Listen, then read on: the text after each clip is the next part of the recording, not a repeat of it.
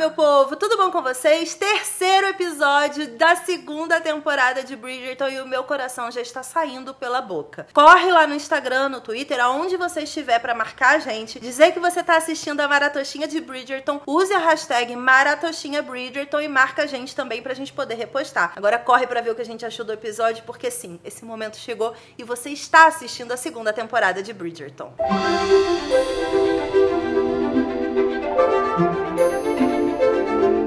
Veio aí o nosso pão mal tão esperado, Nossa, veio a não, abelha, não. veio tudo e mais um pouco, Brasil. Mas Veio não choro. veio, mas não veio. A não chupada, veio a né? chupação no peito. A chupada do peito não aconteceu, né? Não tava tendo chupação, É gente. A, Olha, gente, a gente vai ter que ficar no- com a chupação no nosso imaginário mesmo. Mas pode ser que eles enfiam a chupação em outro canto ali. Ai, eu Não tô... sei. Gente, eu tô vivendo por Como essa assim, A chupada. gente? cara do povo de gente, para, pelo amor de Deus. Não, mas como É um assim? canal chupação O que acontece? No momento que a abelha dá uma picadinha aqui, e Ah. menina Kate, Anthony entra em pânico, assim como o vírus. Ele teve um ataque de Teve, pânico. mas ele enfia a boca na picada e dá uma chupada nela. E aí, Entendi. frase 10 de 10. Mary, Violet Mary vem, cara. Porsche também. Sim. Feather, então. Quem é a E Feather. Porsche? aí, A mãe da- Ah. E aí, Inclusive, elas, ela é o problema. A mãe da Isso. Penélope é o problema. e aí elas, eles são obrigados a se casar. Mas a mãe de Penélope, Penélope ainda não tava É, lá. não chegou ainda, né? Anteciparam ainda. Mas eu gostei de ter um episódio inteiro dedicado a essa junção Charma Bridgerton, que é uma junção que vai render muitos frutos. Exato. Né? Não pela filha certa, mas vai render frutos. No momento da chupada que não teve, que não Ah. tava tendo chupada, Mas, gente, aconteceu tanta coisa antes, a gente só vai Sim. falar só da Não, chupada não, mesmo. só um minutinho, senhor. Pode seguir na A história. reação de- dos dois depois é tipo assim, putz, grila! É. É, gente, eu tô sentindo um negócio bem aqui É. O nome é tesão. O nome é tesão, eles não estão acostumados a ter. Eu acho que a gente tem, a ligação que a gente tem que fazer é por aí. Sim. Porque o Anthony conhece a paixão. Ele se apaixonou pela, pela atriz lá na Sim. primeira temporada. Uhum. E aí ele tomou um toco. Sim. E ela meteu o pé. Sim. Aí ele se desiludiu. E aí, Mas agora. não, era, não chega nem aos pés disso aí que ele sentiu. Então, Pode estar aqui, ó. ele acha. respirando o mesmo núcleo de oxigênio. Mas vamos montar o perfil psicológico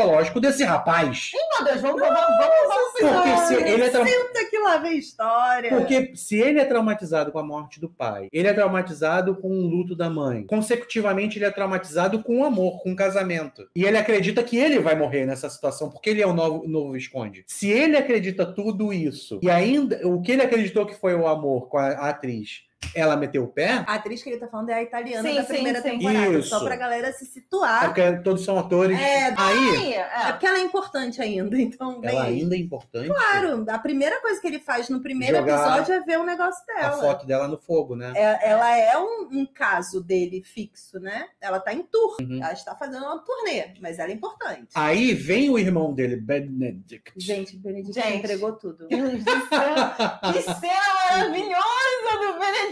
Tudo, tudo, tudo, tudo. Esse Benedict já é o Benedict do terceiro livro. Mas aí a questão é essa, porque Na verdade, não é pelo ABCD Jos Rebels, é pela ordem de casamento. E aí os homens, eles têm essa... Eles são os mais velhos, Ah, tá. então eles estão agora na prioridade. É que a Daphne foi a primeira irmã mais velha a debutar e atingir virar o debut. E a gente tá vendo aí Heloise já, Nossa, já fazendo A Cris é muito nojenta, Já lembrando de todos os termos. já fazendo pesquisa de campo. Heloise já tá falando, com licença, é tranquilo ser solteira? Só pra saber. Ai, gente, eu tá amo aí, a ó. Heloise tanto. Ah. Meu Deus do céu. Ela é maravilhosa. Deus Aí céu. começa a juntar. o- Porque assim, falando o que a gente está encontrando do Anthony é que ele tá entendendo a visão artística do irmão sobre o amor no, no episódio anterior, no segundo. Aham. E nesse, a visão da irmã que se casou por amor. Uhum. Então ele começa, assim, como ele se afastou da visão de amor da mãe por causa do luto, ele começa a entender qual é a visão de amor que nasce. Isso que é incrível desse, desse episódio, porque quando ele, ele, ele sai de um ataque de pânico pra histeria amorosa, porque ele tá. Ah, Eufórico. é, ele começa a entender que ele tá amando, o que é amar de Sim, fato, sim. né? E ele renega isso o tempo todo, Uhum, né? Ele renega, Kate renega. São pessoas que têm tanta responsabilidade É. na mão que não se permitem viver. Não Sim. é uma, uma opção para eles ser feliz. Uhum. Não é uma coisa que eles consideram. Então é muito legal mesmo. Ah, desenvolvimento. Não, esse episódio foi todo muito bom, gente. Foi. É isso, gente. Foi bom. Obrigada. Até o próximo Vou lá ver o vídeo. carro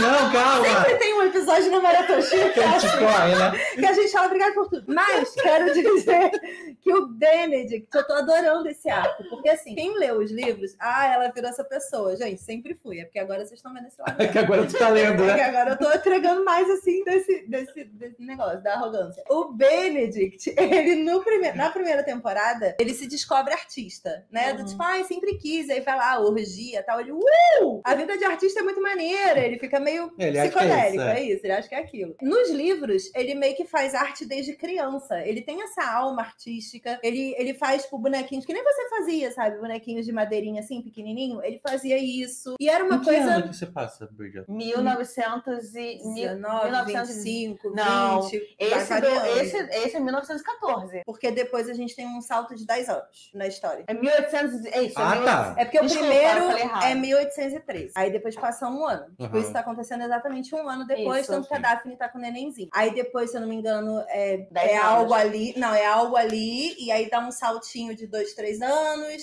Aí Hum. depois tem um saltão de 10 anos, Ah, tá. entendeu? Então Entendi. tem um. Vamos lá, Lord Edmund. Eu gostei do, do CGI que fizeram no Anthony pra ele parecer mais jovem. né? Caraca, ficou muito bom. Eu precisava comentar isso também. Ficou muito bom, cara. Computação gráfica em vários momentos desse episódio. O Paul Mall teve bastante computação gráfica com as bolas. Uhum. Foram muito bem feitas, Sim, assim. E, e é um recurso legal, né? Facilita ali a Abelha. a abelha. A abelha também, verdade. Mas a abelha é Inclusive fake tem uma sempre, fotinha né? aí no próximo episódio, vai ter Kate com a picadinha aqui, que tem fotinha dela com a picadinha da abelha. É porque não apareceu nada, né? Não, é porque vai inchar agora, né, depois. Nada eu tenho de alergia, chupada, incha gente. depois. Ai, chu- Todo Paul Mall, assim, eu sei que, e vou trazer isso de novo pra galera que leu, é muito... É mais divertido no livro, não é? Não, não é nenhuma questão de ser mais divertido, é porque você tem uma dinâmica ali diferenciada, a Daphne tá grávida, o Ah. Duque tá protegendo ela da Ah, gravidez. verdade, ela tá grávida Tem toda uma dinâmica ali que é diferente, sabe? Porque a Daphne, ela realmente é uma mãezona, assim. Ela se Uhum. tornou uma matriarca, de verdade, sabe? E ela não para de parir, gente. É, é assim, abriu a porteira da Daphne. Agora vai que vai. e o Duque tá meio psicopata. Ele vai pro jogo para proteger a Sim. Daphne, porque os Bridgerton são descontrolados. São. Isso entregou muito bem na série, assim. Foi, foi. Eles são descontrolados, são competitivos, inconsequentes. A própria Violet falou isso, né, sobre a competitividade dos filhos. Sim. Aquilo ali é uma tradição deles, eles são malucos mesmo. Aí, uma coisa que eu acho que talvez a galera sinta um pouco de falta é porque no livro a Julia Quinn já enfia hot aí, entendeu? Ela, nesse Hum. momento da história, já tem uma química hot muito grande entre Kate e Anthony. Ela É, deu uma é- segurada nessa Isso, onda. eles não estão se pegando, propriamente dito. Mas já tem o, o mas eminente. ambos já, se, já pensam É. no, no outro. já sentem alguma coisa. Uhum. E a série deu uma segurada pra desenvolver melhor a história, porque tem vários personagens. Isso. Então, assim, nesse episódio, a gente teve referência do livro do Benedict, do livro do Colin, É, do da- livro da Hyacinth, principalmente por conta. Cara, uma micro olhada ali da Hyacinth pra Lady, Le- pra Lady Danbury, tu já segura e espera, porque as duas têm uma dinâmica muito forte no livro dela. Que microdedo que houve? Quando a Danbury chegou, Ah. a Danbury fala alguma coisa que a Hyacinth, tipo, fica muito empolgada, assim, E- com o que ela Ah. falou. A Hyacinth é fã da Lady Danbury.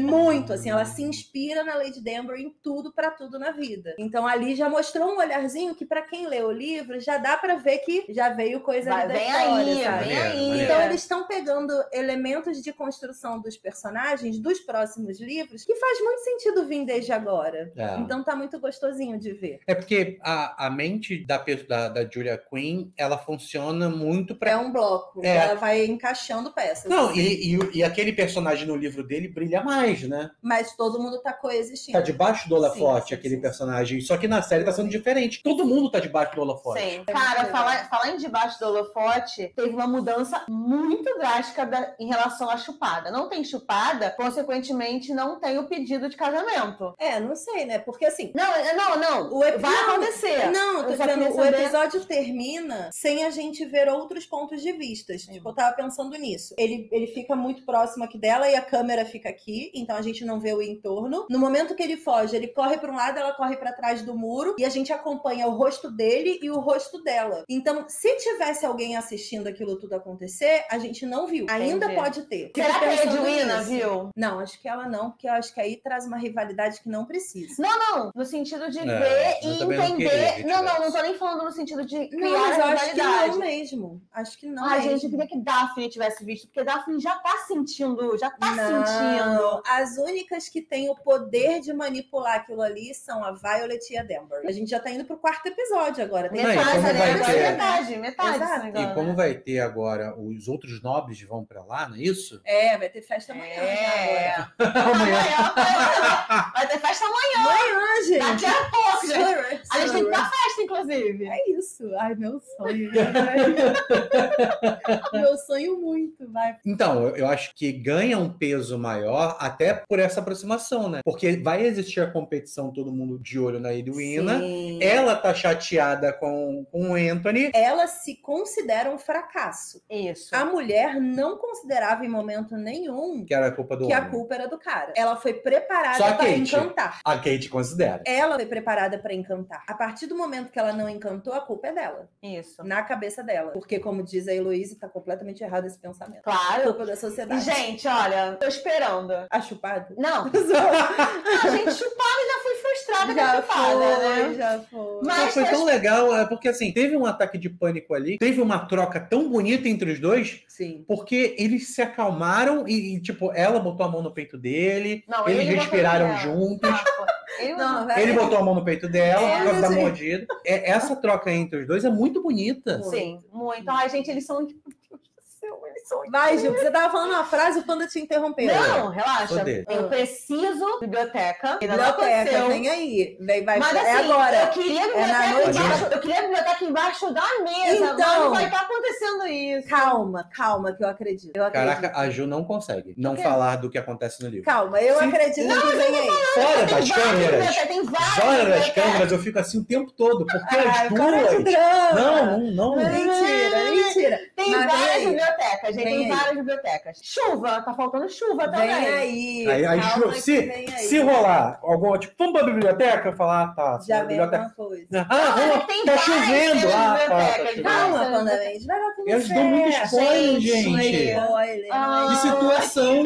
Não, mas segura a onda. Todo esse desenvolvimento de ter um, um episódio inteiro entregou muito dos personagens que são importantes, inclusive para agora, para os próximos livros e para as próximas temporadas. Sabe? É, a gente viu um pouquinho mais do Colin, viu um pouquinho mais do Benedict, da Eloise, viu mais da Kate, ela agindo de uma forma mais racional, vimos mais de Violet. Veio aí o Edmund com toda essa trajetória dele, com a questão do nascimento da Hyacinth. Isso é muito importante pro livro da Hyacinth também. Ela foi a única Bridgerton que não conviveu com o pai. É. E isso tem um peso muito grande na vida da própria Violet. Então, eles entregaram muito do imaginário Bridgerton nesse Ai, episódio. sim, foi muito Aubrey bonito. Hall é tipo o ponto alto da história dos Bridgerton e eu fiquei muito feliz com Nossa, esse foi episódio. lindo, foi Chorei lindo. o episódio todo.